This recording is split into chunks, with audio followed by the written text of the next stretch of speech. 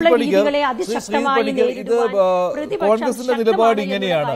അജണ്ടയിൽ ഇല്ലാത്ത ഒരു വിഷയമായിരുന്നു ഈ അടിയന്തര പ്രമേയത്തിന് ശ്രമിക്കണം ക്ഷമിക്കണം അടിയന്തരാവസ്ഥക്കെതിരായിട്ടുള്ള സ്പീക്കറുടെ പ്രമേയം. സ്പീക്കർ അത് വായിച്ചപ്പോൾ അവിടെയുള്ള ശബ്ദ കോലാഹലം കേട്ടതാണല്ലോ.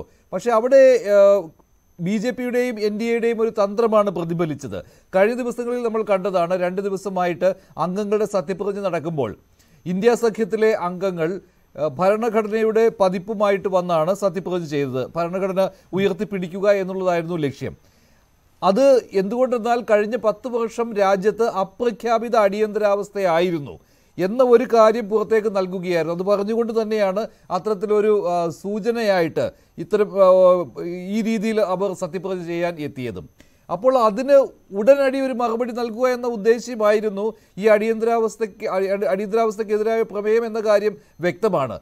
പക്ഷേ അത് മര്യാദകളുടെ ലംഘനമാണ് കീഴ്വഴക്കങ്ങളുടെ ലംഘനമാണ് എന്നുള്ള കോൺഗ്രസിന്റെ നിലപാടിനോട് താങ്കളുടെ ഒരു പ്രതികരണം എങ്ങനെയാണ്? കീഴ്വഴക്കങ്ങളുടെ അല്ലെങ്കിൽ മര്യാദകളുടെ മര്യാദകളുടെയൊക്കെ ലംഘനമാണ് എന്ന രീതിയിലത്തേക്കൊന്നും ഞാൻ കരുതുന്നില്ല. അതങ്ങനെ കരുതാതിരിക്കുന്നതിന്റെ ഏറ്റവും പ്രധാനപ്പെട്ട കാര്യം അത് പറയാതെ തന്നെ വിശദീകരിക്കാതെ തന്നെ കോൺഗ്രസിന്റെ ആൾക്കാർ അറിയേണ്ടതാണ്. അപ്പൊ ഈ കഴിഞ്ഞ രണ്ട് ദിവസങ്ങളിൽ അവിടെ സത്യപ്രതിജ്ഞ ചെയ്യുന്ന സമയത്ത് കീഴ്വഴക്കങ്ങൾക്ക് വിധേയമായിട്ടാണ് ആൾക്കാർ സത്യപ്രതിജ്ഞ പലപ്പോഴും ചെയ്തിരിക്കുന്നത്. അല്ല ഉദാഹരണത്തിന് ജയ് പാലസ്തീൻ എന്ന് പറഞ്ഞുകൊണ്ട് മറ്റൊരു രാജ്യവുമായി ബന്ധപ്പെട്ട് ജയ് വിളിച്ചുകൊണ്ട് സത്യപ്രതിജ്ഞ ചെയ്തിരിക്കുന്ന ആൾക്കാരുണ്ട്. എന്തെങ്കിലും നടപടി അവിടെ ഉണ്ടായിട്ടുള്ളതായിട്ട് ഞാൻ മനസ്സിലാക്കുന്നില്ല. അല്ലെങ്കിൽ കോൺഗ്രസിന്റെ ഭാഗത്ത് നിന്ന് എന്തെങ്കിലും ശക്തമായിട്ടുള്ള വിമർശനം അതിലുണ്ടായതായിട്ടും ഞാൻ മനസ്സിലാക്കുന്നില്ല. ബി ജെ പിയുടെ ഭാഗത്തു നിന്നുമില്ല. ഇനി മറ്റൊന്ന് നമ്മൾ കണ്ടതാണ് ഈ ഭരണഘടന കയ്യിൽ പിടിച്ചുകൊണ്ട് അതിന്റെ ഒരു കോപ്പി കയ്യിൽ പിടിച്ചുകൊണ്ടൊന്നുമല്ല സാധാരണ ഇവിടെ ആൾക്കാർ സത്യപ്രതിജ്ഞ ചെയ്യുന്നത്. പക്ഷേ അതും ആൾക്കാർ ചെയ്യുന്നുണ്ട്. അതിൽ തെറ്റുണ്ടെന്ന് പറയാൻ പറ്റുമോ? ഇല്ല. നൂറ് ശതമാനം പറ്റില്ല. കാരണം നമ്മുടെ രാജ്യത്തെ ജനാധിപത്യം നിലനിൽക്കുന്നത് ഭരണഘടന പ്രകാരമാണ്. അപ്പോൾ ഭരണഘടനയുടെ ഒരു ചെറിയ ഒരു പോക്കറ്റ് എഡിഷൻ കോപ്പി കയ്യിൽ പിടിച്ചതുകൊണ്ട് യാതൊരു വിധത്തിലുള്ള പ്രശ്നവുമില്ല. തന്നെയല്ല ഭരണഘടനയെ നിലനിർത്തുക അതിനെ ഉയർത്തിപ്പിടിക്കുക എന്ന് പറയുന്നത് നല്ല കാര്യമാണ് അപ്പോ ജനാധിപത്യം നിലനിൽക്കുന്നത് തന്നെ നമ്മുടെ നാട്ടിലുള്ള ഭരണഘടന ഉള്ളതുകൊണ്ടാണ്. അപ്പൊ അങ്ങനെയുള്ള ജനാധിപത്യത്തിനെ ഇല്ലാതെയാക്കുന്നതിന് വേണ്ടി ഈ ഭരണഘടനയെ ദുരുപയോഗിച്ചിരിക്കുന്നതിന്റെ അൻപതാം വർഷത്തിലേക്ക് നമ്മൾ കടക്കുകയാണ്.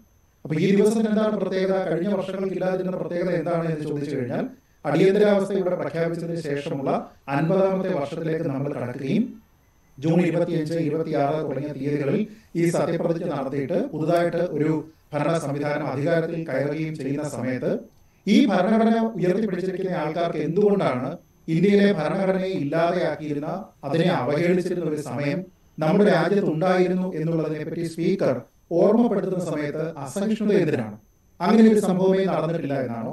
അതോ അടിയന്തരാവസ്ഥ എന്നത് നല്ല ഒരു കാര്യമായിരുന്നു എന്നാണോ? നമ്മൾ പറയുന്നത് അപ്രഖ്യാപിത അടിയന്തരാവസ്ഥ ഇവിടെ ഉണ്ടായിരുന്നു എന്ന് പറയുമ്പോൾ അത് പറയുന്നതിന് കോൺഗ്രസിന് പൂർണമായിട്ടുള്ള സ്വാതന്ത്ര്യമുണ്ട്.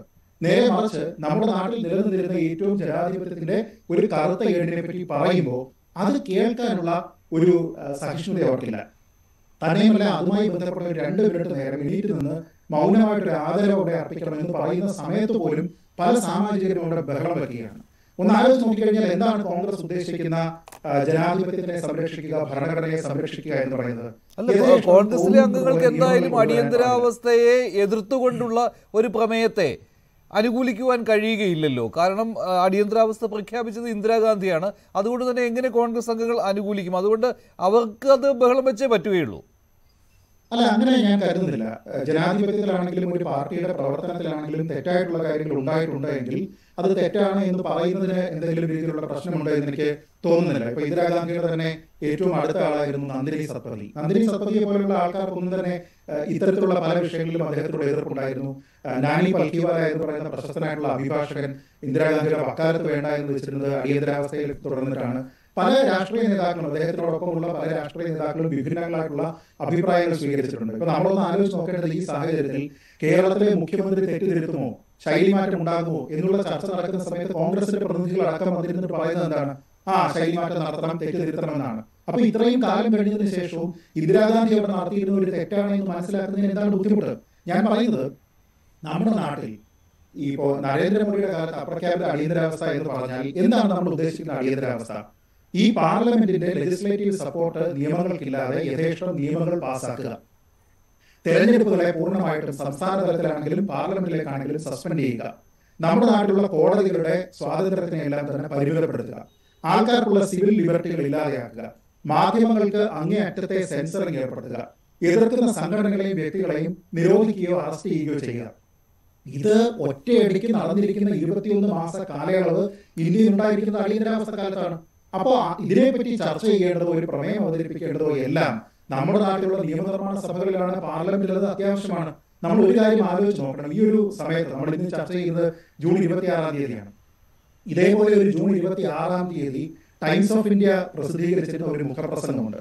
ആ മുഖപ്രസംഗത്തിൽ പറയുന്ന വാക്കുകൾ തന്നെ വിഖ്യാതമാണ്. മലയാളത്തിലേക്ക് ലൂസിലി ട്രാൻസ്ലേറ്റ് ചെയ്താൽ സത്യത്തിന്റെ പ്രിയപ്പെട്ട ഭർത്താവും സ്വാതന്ത്ര്യത്തിന്റെ സ്നേഹനിധിയായ പിതാവും വിശ്വാസത്തിന്റെയും പ്രത്യാശയുടെയും നീതിയുടെയും സഹോദരനുമായ ജനാധിപത്യം ജൂൺ ഇരുപത്തിയാറിന് അന്തരിച്ചു എന്ന് പറഞ്ഞാണ് ടൈംസ് ഓഫ് ഇന്ത്യ അവരുടെ മുഖപ്രസംഗം ഇറക്കിയിരിക്കുന്നത്. ടൈംസ് ഓഫ് ഇന്ത്യ ഏതെങ്കിലും ഒരു പാർട്ടിയുമായിട്ടോ ഏതെങ്കിലും ഒരു രാഷ്ട്രീയ ആശയവുമായിട്ട് ചേർന്ന് നിന്നതുകൊണ്ടാണോ അങ്ങനെ പറഞ്ഞത്?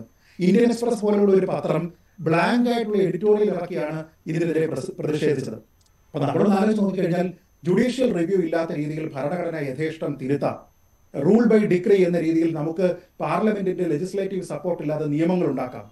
കോടതികളുടെ അധികാരത്തിനെ പരിമിതപ്പെടുത്തിക്കൊണ്ട് പ്രധാനമന്ത്രി ഓഫീസിന് സമഗ്ര അധികാരങ്ങളും നൽകാം. പ്രധാനമന്ത്രിയെ ചോദ്യം ചെയ്യുന്നതിന് വേണ്ടിയിട്ടോ പാർലമെന്റ് പാസ്സാക്കുന്ന നിയമങ്ങളുടെ ജുഡീഷ്യൽ റിവ്യൂ നടത്താൻ പറ്റില്ല എന്ന രീതിയിലത്തേക്കുള്ള നിയമങ്ങൾ കൊണ്ടുവരാം. അങ്ങനെ നോക്കിക്കഴിഞ്ഞാൽ നമ്മുടെ ഭരണഘടന അതിൽ പറഞ്ഞിരിക്കുന്ന ഒരു പൗരനുള്ള അടിസ്ഥാനപരമായിട്ടുള്ള ജനാധിപത്യ പൗരാവകാശങ്ങൾ എന്തൊക്കെയാണോ അതിനെ സസ്പെൻഡ് ചെയ്തിരിക്കുന്ന ഒരു കാലഘട്ടത്തിലേക്ക് നമ്മൾ തിരിച്ചു പോകാൻ പാടില്ല എന്നും അതിനെ എതിർത്തുകൊണ്ട് ഭരണഘടനയെയും ജനാധിപത്യത്തിനെയും സംരക്ഷിക്കാനായിട്ട് ഇവിടെ ഒരു മൂവ്മെന്റ് ഉണ്ടായി എന്നും ആ മൂവ്മെന്റിൽ പങ്കെടുത്തിരുന്ന ജീവിച്ചിരുന്ന ആൾക്കാർക്കുള്ള ആദരവും അതേപോലെ മരണപ്പെട്ട ആൾക്കാർക്കുള്ള ഒരു ആദരാഞ്ജലിയും എന്ന രീതിയിലത്തേക്ക് നമുക്ക് രണ്ട് മിനിറ്റ് മൗനം ആചരിക്കാം എന്ന് പറഞ്ഞാൽ അത് കോൺഗ്രസിനെ അസ്വസ്ഥമാക്കുന്നത് എന്തിനാണ്? എന്ന് വെച്ചാൽ അന്ന് ചെയ്തിരുന്ന കാര്യങ്ങളെ കോൺഗ്രസ് തള്ളാൻ തയ്യാറാകുന്നില്ല എങ്കിൽ അന്ന് നടന്നിരുന്ന എല്ലാവിധ ജനാധിപത്യ ധ്വംസനവും കോൺഗ്രസ് ഇന്നും എൻഡോഴ്സ് ചെയ്യുന്നു എന്നാണ് അതിനർത്ഥം അതല്ല എങ്കിൽ അത്തരത്തിലുള്ള ഒരു കാര്യം കേൾക്കുന്ന സമയത്ത് കോൺഗ്രസിന് ഒരു പുനർവിചിന്തനം ഉണ്ടാകണം. അങ്ങനെയില്ല.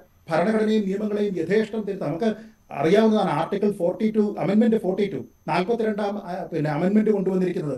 എന്തൊക്കെയാണ് ചെയ്തിരിക്കുന്നത്? പിന്നീട് പല കേസുകളുടെയും ഭാഗമായിട്ട് അതിൽ പറഞ്ഞിരിക്കുന്ന ഈ ജുഡീഷ്യൽ ആയിട്ടുള്ള റിവ്യൂവിന്റെ കാര്യവും തുടങ്ങിയ കാര്യങ്ങളെല്ലാം തന്നെ സുപ്രീം കോടതി തന്നെ സ്ട്രൈക്ക് ഡൗൺ ചെയ്തിരിക്കുകയാണ്.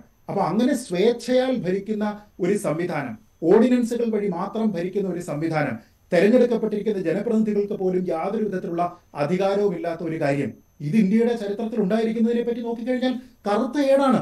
ശരി അത് കറുത്ത ഏടാണ് എന്ന് പറയുന്നതിനോ പ്രഖ്യാപിത അടിയന്തരാവസ്ഥയോ തള്ളി പറയുന്നതിനോ അതിന്റെ ഓർമ്മപ്പെടുത്തലിനെ പോലും എതിർക്കുന്നതിനോ കോൺഗ്രസ് ശ്രമിച്ചാൽ അതിന് ഞാനൊരു സാധാരണക്കാരൻ എന്ന രീതിയിൽ ചോദിക്കുന്നത് നിങ്ങൾ അതിനെ ഇന്നും എൻഡോഴ്സ് ചെയ്യുന്നുണ്ടോ? നിങ്ങളുടെ ഭാഗത്തു നിന്നുണ്ടായിരിക്കുന്ന പ്രശ്നം ചൂണ്ടിക്കാട്ടുന്നത് ആശയവിരുദ്ധതയായിട്ടാണോ നിങ്ങൾ ഇപ്പോഴും കാണുന്നത്? അന്ന് നടന്നിരുന്ന നരാധമ പ്രവർത്തനങ്ങൾ അന്ന് നടന്നിരുന്ന ഏറ്റവും പ്രധാനപ്പെട്ട പൗരാവകാശ ലംഘനങ്ങൾ എന്നതിനെ നിങ്ങൾ എൻഡോഴ്സ് ചെയ്യുകയാണോ എന്നുള്ള ഒരു ചോദ്യത്തിന്